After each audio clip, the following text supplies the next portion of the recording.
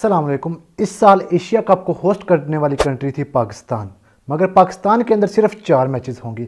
ये एक ऐसा हाइब्रिड मॉडल है कि जिसके अंदर होस्ट करने वाली कंट्री को ही कोई फ़ायदा नहीं। पहले तो सोशल मीडिया के ऊपर कुछ ऐसी खबरें गर्दिश कर रही थी कि या तो पाकिस्तान इस टूर्नामेंट का बाइकाट करेगा या फिर इंडिया इस टूर्नामेंट का बाइकाट कर देगा। और यकीन ऐसा होना मुमकिन भी था कि अगर पाकिस्तान के अंदर सारे मैचेस हो जाते तो इंडिया कभी भी पाकिस्तान ये टूर्नामेंट खेलने के लिए नहीं आता और वो इस टूर्नामेंट का बाइकाट कर देता। और अगर एक भी मैच पाकिस्तान में ना होता तो पाकिस्तान पाकिस्तान इस साल एशिया कप को होस्ट करने वाले थे तो ये ही एशिया कप को बाइकाट कर देते कि हम एशिया कप नहीं खेलेंगे। मगर अब तो ये खबर पक्की आ चुकी है कि 31 अगस्त से एशिया कप स्टार्ट होगा और जिसके अंदर चार मैचेस पाकिस्तान में खेले जाएँगे और बाकी के तमाम मैचेस श्रीलंका में खेले जाएँगे। एशिया कप के इस टूर्नामेंट में दो ग्रुप्स बनाए गए हैं। ग्रुप ए में पाकिस्तान, इंडिया और नेपाल हैं, जबकि ग्रुप बी में बांग्लादेश, श्रीलंका और अफ़गानिस्तान को डाला गया है। ख्याल रहे कि इंडिया 2008 के बाद पाकिस्तान में कभी भी सीरीज़ खेलने के लिए नहीं आया,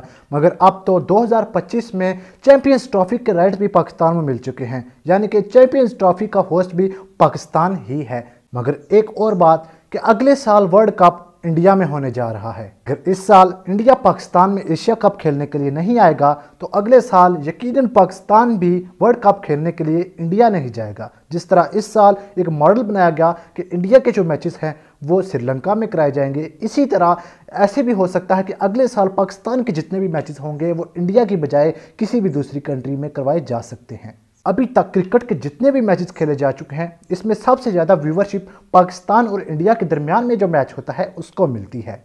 और अगर पाकिस्तान और इंडिया का मैच ही श्रीलंका में खेला जाएगा तो उसकी जितनी व्यूवरशिप से जितना भी पैसा बनेगा, उसका फ़ायदा श्रीलंका को होगा, ना कि पाकिस्तान को। और एक बात ये भी सोचने वाली है कि अगर आप बांग्लादेश और श्रीलंका का मैच पाकिस्तान के अंदर ग्राउंड में जाकर देखोगे, मगर अगले ही दिन अगर आप पाकिस्तान का मैच टीवी पर देखोगे तो आपको कैसा महसूस होगा? अभी तक मुकम्मल स्केजुअल मैचेस का तो नहीं आया, मगर अनकरीब वो भी आ जाएगा। और कहा जा रहा है कि ऐसा भी हो सकता है कि पाकिस्तान और इंडिया के दरमियान तीन मैचेस बन जाएँ। अगर इस साल ये हाइब्रिड मॉडल यानी कि पाकिस्तान के अंदर चार मैचेस और दूसरे श्रीलंका के अंदर मैचेस, ये कामयाब हो गया तो आइंदा सालों में भी ऐसे मॉडल्स हमें देखने के लिए मिल जाएँगे। यानी कि अगर अगले साल जब से कि इंडिया में वर्ल्ड कप होगा तो हो सकता है कि पाकिस्तान के मैचेस को इंडिया की बजाय दूसरे मुल्कों में रखा जाए। आपको क्या लगता है कि ये जो मॉडल आया है एशिया कप का यह पाकिस्तान के हक में बेहतर है, या फिर इसका पाकिस्तान को नुकसान ही हुआ है? कमेंट सेक्शन में ज़रूर बताइएगा। मजीद ऐसी वीडियोज़ के लिए चैनल को सब्सक्राइब करें।